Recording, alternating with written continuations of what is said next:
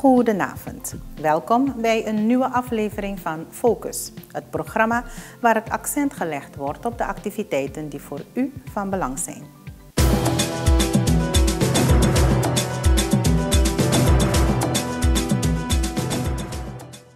Vandaag in Focus.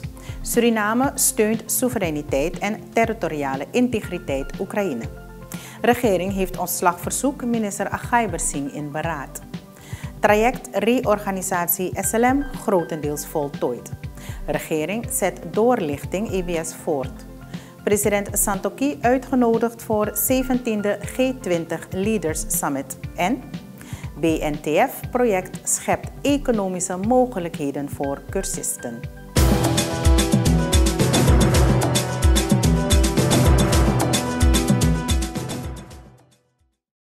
De Republiek Suriname ondersteunt de soevereiniteit en territoriale integriteit van Oekraïne binnen zijn internationaal erkende grenzen met inbegrip van het Krim-schiereiland. Deze verzekering gaf president Chandrika Prasad Santoki op dinsdag 23 augustus 2022 aan zijn Oekraïense ambtsgenoot Volodymyr Zelensky. Het Surinaamse staatshoofd leverde virtueel zijn bijdrage aan de tweede online summit for Heads of State and Government of the International Crimea Platform. De summit is een initiatief van de Oekraïne in zaken de situatie rondom de Krim. As President of the Republic of Suriname, I wish to express sincere appreciation for the invitation extended and the opportunity provided to participate in this virtual summit on the occasion of the first anniversary of the International Crimea Platform. I commend Ukraine for launching this international consultation and coordination mechanism a year ago to improve the international response to the ongoing occupation of the Crimea Peninsula with the main goal of the occupation of Crimea and its return to Ukraine. The government of the Republic of Suriname is of the view that a prosperous world requires a firm commitment to the upholding of international principles and international law. In this respect, Suriname supports the guiding principles of international law as enshrined in the Charter of the United Nations. Suriname underlines the independence and territorial integrity of Ukraine in this context. Adherence to this internationally recognized legitimate and territorial integrity principles is of immense importance for the security and survival of all states especially small states like my country, Suriname. Therefore, it is appropriate to underscore that the Republic of Suriname remains committed to democracy, strong democratic institutions, good governance, sovereignty, territorial integrity, rule of law, human political rights, and fundamental freedoms, as well as peace and security. In the same vein, we repeat the importance of intensifying diplomatic efforts for a peaceful settlement through dialogue and reaffirming respect for the international system and global peace and security. These are indispensable for achieving sustained growth and sustainable development. These are the principles we are supporting. President Vladimir Zelensky I can assure you of the support of the Republic of Suriname for Ukraine's sovereignty and territorial integrity within its internationally recognized borders, including the Crimean Peninsula and the adjoining territorial waters. In closing, allow me to wish you and the people of Ukraine strength and courage during these challenging times. And I sincerely hope that through dialogue long-lasting peace can be achieved, emphasizing that peace in all regions is of fundamental value for maintaining worldwide peace I thank you very much and may God bless you all. Thank you.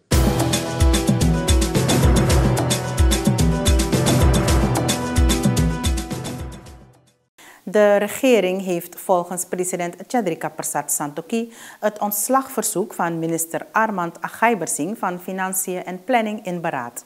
Het staatshoofd heeft de Nationale Assemblée op maandag 22 augustus 2022 officieel van het besluit van de bewindsman op de hoogte gesteld.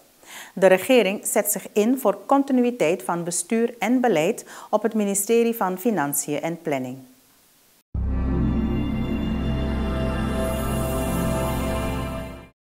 Voorzitter, we hebben de afgelopen periode op de openbare vergaderingen verschillende uh, vragen gehad als regering over uh, reguliere activiteiten, maar ook over zeer actuele ontwikkelingen. En andere onderwerpen die aan de orde zijn gesteld door leden van uw graag college. En inmiddels hebben verschillende leden van de regering, de vicepresident en enkele ministers uitgebreide informatie verschaft over aangehaalde kwesties. Omtrent een aantal nog niet behandelde zaken of onvolledig behandelde zaken die aan de orde zijn gesteld. Daar wil ik vandaag nader op ingaan en uw college zo breedvoerig mogelijk informeren, meneer de voorzitter. Eén was een kwestie van de positie van de minister van uh, Financiën en Planning, minister Armand Agaibersing, die inderdaad uh, op uh, 13 augustus uh, schriftelijk aan mij kenbaar heeft gemaakt dat hij zijn portefeuille uh, beschikbaar heeft gesteld. En ook duidelijk aangevend, zowel op papier, maar ook uh, met toelichting dat het om strikt persoonlijke redenen gaat. Welke hij ook uitvoerig heeft uitgelegd, meneer voorzitter. En we hebben respect daarvoor, zeker ik als president heb veel respect daarvoor. Voor de persoonlijke omstandigheden en persoonlijke beweegredenen en ook de privacy van de minister vraag ik u om dat zoveel mogelijk ook uh, te willen respecteren. Ik heb het verzoek van de minister van Financiën beraad. En we zijn bezig met uh, het regeerteam en anderen na te gaan hoe we deze kwestie op een zo richtige manier uh, kunnen behandelen. Dat er continuïteit is van bestuur, continuïteit is van beleid op het ministerie van Financiën. En ik vraag ook de Surinaamse gemeenschap de ontwikkeling in deze case af te wachten. En u zult, meneer voorzitter, graag college van de regering spoedig vernemen hoe we met dit verzoek van de minister en dit besluit van de minister verder zullen omgaan. We zullen in ieder geval alles eraan doen dat er geen stagnatie ontstaat voor wat betreft uh, uitvoering van het beleid binnen de regering en nog minder op het ministerie van uh, Financiën en Planning. En we zullen alles eraan doen, ongeacht wie daar komt, uh, meneer de voorzitter, dat het goede werk van deze minister wordt voortgezet daar op het ministerie van Financiën.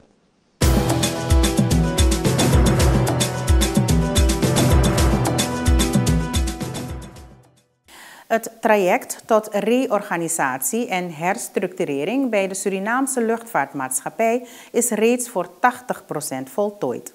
President Chandrika Persat Santokhi zei op maandag 22 augustus in de Nationale Assemblée dat de regering voor de keus stond om SLM failliet te verklaren of het bedrijf te redden.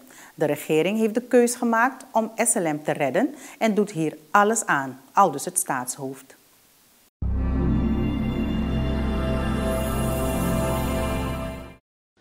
SLM was dringend aan herstructurering toe, meneer de voorzitter. En hiervoor is er een herstructureringsstrategie ingezet, een reddingsplan ontwikkeld, dat gepresenteerd is ook aan de regering, meneer de voorzitter. En heel belangrijk is om vast te stellen dat tegenover de 75 miljoen Amerikaanse dollar schuld SLM geen financiële middelen heeft om deze schuld af te lossen, meneer de voorzitter. Met deze schuld zou er met de bestaande organisatie van SLM en bestaande systemen en bestaande samenwerkingsvormen geen enkel redding mogelijk zijn, meneer de voorzitter. En de enige optie was om een grote operatie uit te voeren bij de SLM, door middel van een transformatie om te gaan naar een nieuwe SLM. Met nieuwe structuren, nieuwe entiteiten en nieuwe rechtspersonen. En dat traject wordt ingezet. Meneer voorzitter. En ook die nieuwe structuren, nieuwe entiteiten, die gaan een nieuw bestuur krijgen. En dat wordt allemaal zorgvuldig voorbereid ook, meneer voorzitter. Tegelijkertijd moeten we zorg dragen als fatsoenlijk bedrijf, maar ook als staat waarbij we aandeel, 100% aandeelhouder zijn, dat de schuldherschikking met schuldeisers doorgaat. En dat we op alle niveaus gesprekken gaan voeren om te zorgen dat die schulden op een ordelijke wijze uh, besproken kunnen worden en dat er op een ordelijke wijze aan een schikking, uh, een schikking bereikt kan worden, zodat er sprake kan zijn van een duurzame herschikkingsplan, ook voor de Suriname SLM, meneer de voorzitter. Om dit proces te begeleiden heeft de regering een crisisteam uh, ingesteld, welke belast is geweest staan met interne en externe stakeholders, om het hervormingsplan te beschrijven, de reddingsplan. En het traject wordt ingezet met herstructurerings, reorganisatie, voorstellen en ook verschillende overlegstructuren met financieringsinstellingen, internationale instanties. Het crisisteam, meneer bestaat uit de CEO van SLM en de president-commissaris van RVC van SLM. Het traject van reorganisatie en herstructurering verloopt, meneer de voorzitter, alhoewel soms met tegenslagen, soms met vertragingen, soms met ruis en soms met andere omstandigheden die wij als SLM, als land niet altijd onder controle hebben. Maar ik kan u wel mededelen dat het reorganisatie, het herstructureringstraject voor ruim 80% al voltooid is, meneer de voorzitter. De rest nog 20%. En dat proberen we nog de komende dagen, komende weken volledig af te ronden.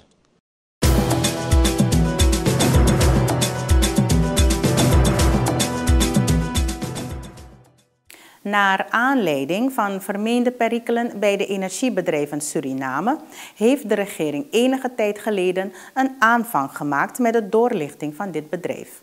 Op basis van het door Ernst Jong uitgebrachte rapport zijn er bevindingen, conclusies en aanbevelingen gedaan. Zo informeerde president Chandrika Prasad Santokhi het parlement op maandag 22 augustus 2022. Een crisisteam zal de regering informeren over de reorganisatie van en aanpak van de misstanden binnen de EBS.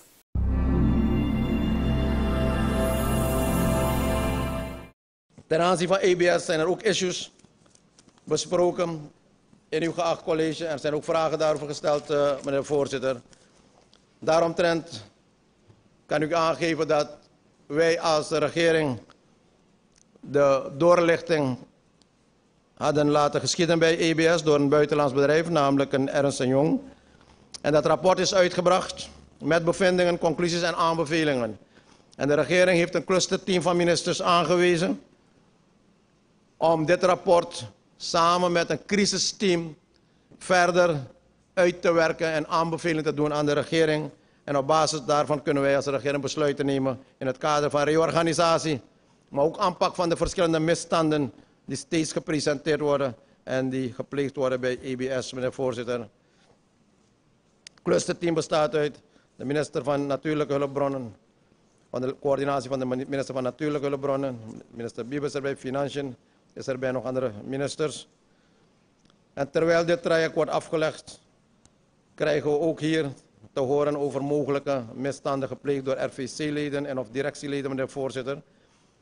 En het crisisteam heeft van de president schriftelijk opdracht gehad om met betrekking tot deze concrete misstanden een separaat onderzoek in te stellen, meneer de voorzitter. En ook zo snel mogelijk ons als regering daarvan te informeren. En afhankelijk van de bevindingen van het uh, crisisteam zullen we dan vervolgstappen ondernemen. En ook hier geldt dat als er zaken zijn die naar het Openbaar Ministerie moeten gaan, dan zal dat zo snel mogelijk ook gebeuren.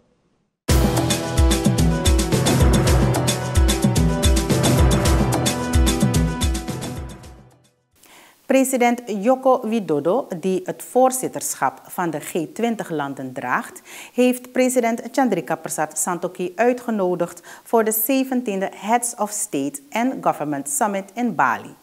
Dit deelde ambassadeur Yulang Puyianto van de Republiek Indonesië mee namens zijn staatshoofd tijdens de viering van de 77ste onafhankelijkheidsdag van het Aziatisch land. Met de aanwezigheid van president Santokhi, die ook voorzitter is van de CARICOM, zal dit bezoek een geweldige gelegenheid bieden voor zowel de CARICOM als Suriname. Kijk mee naar dit moment.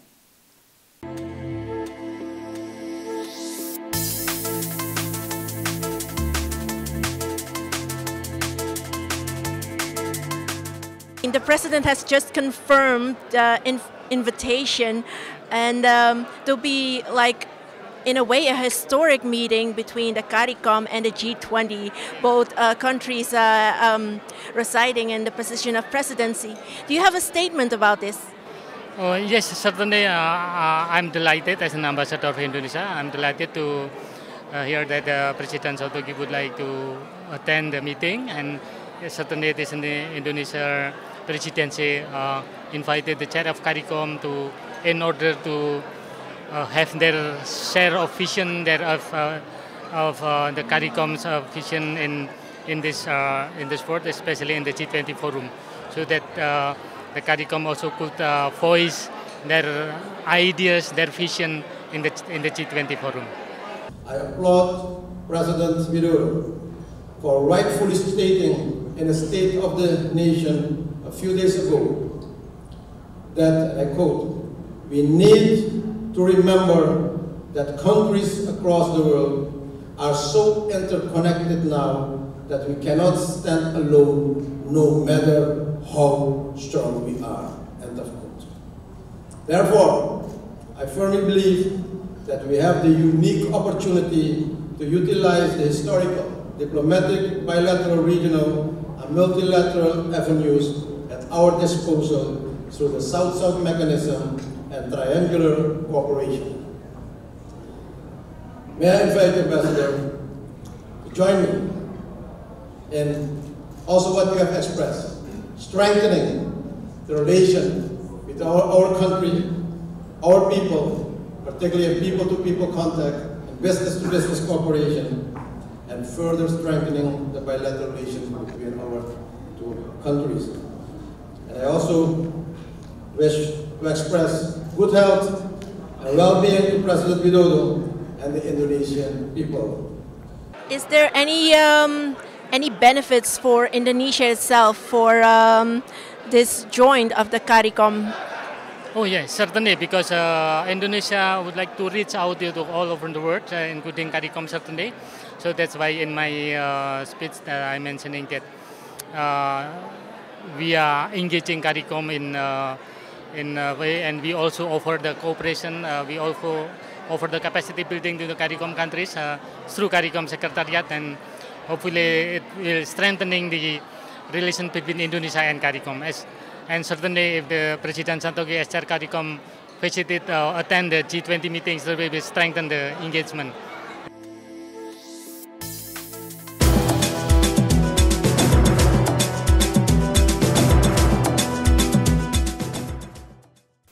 Van grassroots tot ondernemer en het om, her en bijscholen van werklozen en werkzamen. Dit is de titel van de training binnen het Basic Needs Trust Fund project, die georganiseerd is door het ministerie van Arbeid, Werkgelegenheid en Jeugdzaken. Cursisten die in Saramaka hebben deelgenomen aan de vaktechnische trainingen, hebben op 22 augustus 2022 hun starterspakket in ontvangst mogen nemen. De cursisten kunnen nu hun eigen inkomsten genereren.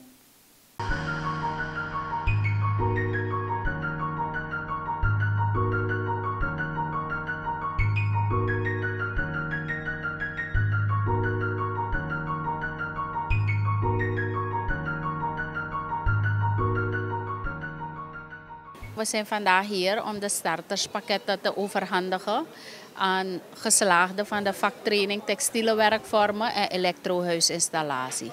Deze dames en heren hebben in december met succes de twee vakrichtingen gevolgd.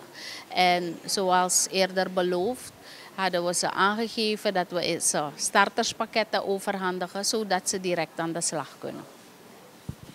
Uh, het project van Grassroots Entrepreneurship en uh, Retraining the Unemployed is voornamelijk uh, gericht op het herscholen en bijscholen van de mensen die een baan zouden willen hebben. En het is meer toetreden door de arbeidsmarkt. De bedoeling is om de mensen klaar te stomen voor die arbeidsmarkt. we hebben het daarnet gehoord. Um, mensen zoeken naar een baan. of ze willen een andere baan, omdat ze zich niet happy voelen. En dit is een van de aspecten.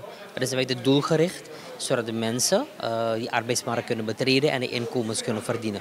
Ik ben ook ergens begonnen. En um, op den duur dan uh, groeien en bereik je een bepaald niveau. Zo is het ook voor hun dat zij dus ergens beginnen, een motivatie krijgen. Het is een, uh, we ondersteunen ze. De training is geheel gratis.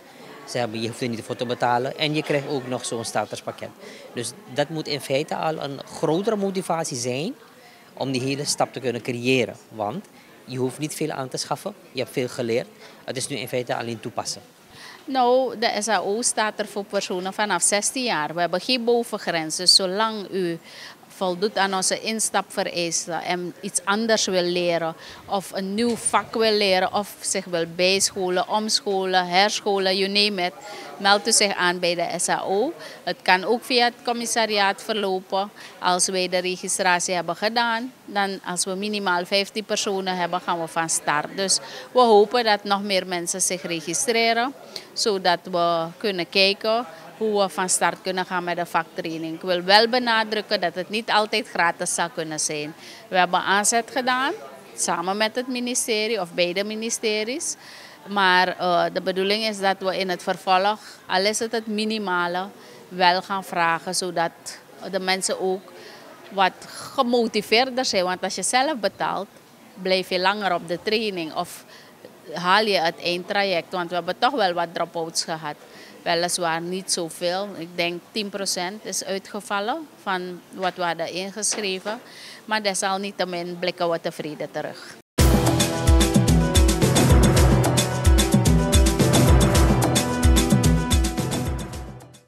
Dit was Focus. Bedankt voor uw aandacht. Goedenavond.